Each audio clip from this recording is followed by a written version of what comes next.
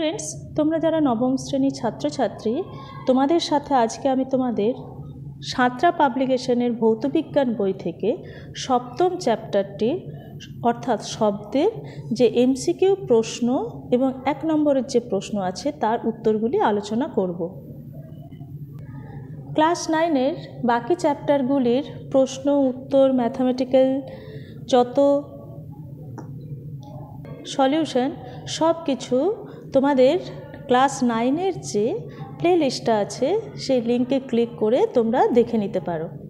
চলো তাহলে শুরু করি আজকে সপ্ত চ্যাপ্টার থেকে প্রথমেই এমসিকিউ প্রশ্ন। দেখো, প্রথম আছে, সঠিক উত্তর নির্বাচন করো।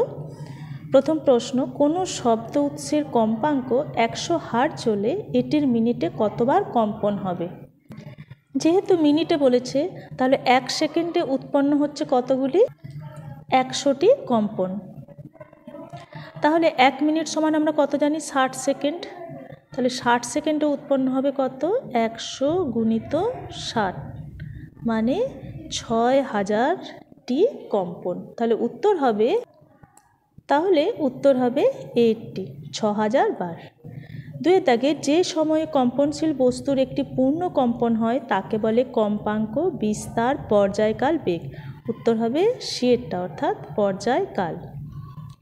তিনের দাগের প্রশ্ন, প্রতিধ্বনি সৃষ্টির জন্য প্রয়োজন শব্দের প্রতিফলন, প্রতিসরণ, শোষণ এদের কোনোটিই নয়। অবশ্যই প্রতিফলন, অর্থাৎ এটি। চারি দাগের প্রশ্ন, শব্দের তীব্রতা মাপার একক জুল, নিউটন, হার্জ, বেল। উত্তর হবে হার্জ। আল্ট্রাসোনোগ্রাফিতে ব্যবহৃত হয় শব্দোত্তর তরঙ্গ শব্দেতর তরঙ্গ আলোক তরঙ্গ এদের কোনোটিই নয়। উত্তর, শব্দোত্তর তরঙ্গ। ছয় ত্যাগের প্রশ্ন। শব্দের প্রাবল্য বাড়ে যদি চারটে অপশন আছে। সনকের আকার ছোট হয়, সনকের আকার বড় হয়, মাধ্যমের ঘনত্ব কম হয় এবং সনকের থেকে শ্রোতার দূরত্ব বাড়লে। উত্তর হবে বিয়েরটা সনকের আকার বড় হয়। এরপরে অতি সংক্ষিপ্ত উত্তর। চেয়েছে, শব্দের উৎসকে কি বলে? শব্দের উৎসকে বলে কম্পনশীল বস্তু। দুই, শব্দ তরঙ্গের প্রকৃতি কি? শব্দ তরঙ্গের প্রকৃতি দুই রকমের হয়, অনুদৈর্ঘ্য এবং তির্যক তরঙ্গ। সত্য না মিথ্যা? শব্দ বিস্তারের জন্য জড় মাধ্যমের প্রয়োজন হয় না। এটা হবে মিথ্যা, কেননা শব্দ বিস্তারের জন্য অবশ্যই জড় মাধ্যমের প্রয়োজন হয়। চারিতাগের প্রশ্ন, কম্পাঙ্কের একক কি? কম্পাঙ্কের একক হার্জ।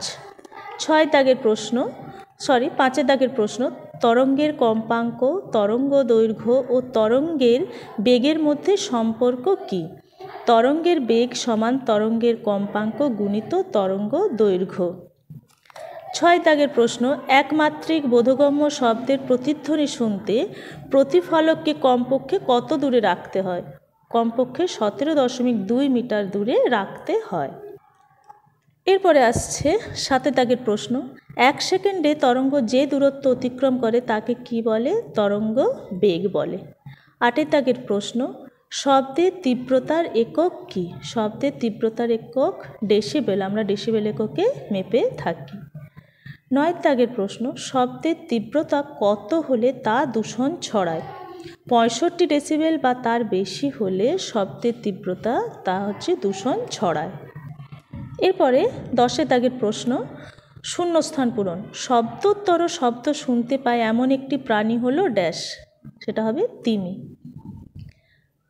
এগারো দাগের প্রশ্ন, শব্দে তর শব্দ শুনতে পায় এমন একটি প্রাণীর নাম বিড়াল। বারো দাগের প্রশ্ন, শব্দের প্রতিধ্বনির একটি ব্যবহারিক প্রয়োগ উল্লেখ করো। আমরা শব্দের প্রতিধ্বনি ব্যবহার করে বিমানের উচ্চতা নির্ণয় করতে পারি। তেরো দাগের প্রশ্ন, শব্দের তীব্র তীক্ষ্ণতা কোন বিষয়ের উপর নির্ভর করে? শব্দের তীক্ষ্ণতা শব্দের কম্পাঙ্কের উপরে নির্ভর করে।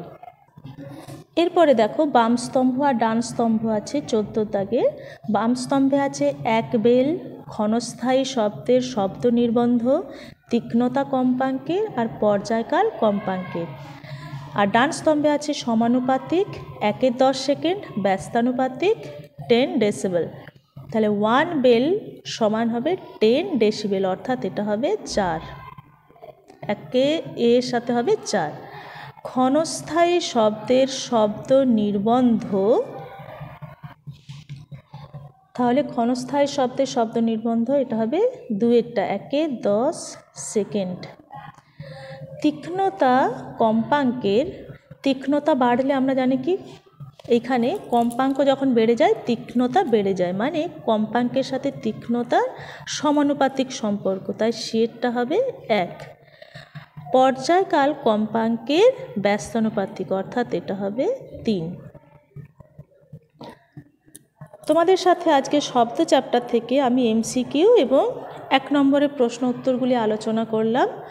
পরে তোমাদের সাথে এই চ্যাপ্টার থেকে কয়েকটি ইম্পর্টেন্ট শর্ট কোশ্চেন এবং অঙ্কের, অর্থাৎ গাণিতিক যে সমস্যাগুলি আছে, সেই নিয়ে ভিডিও দেব।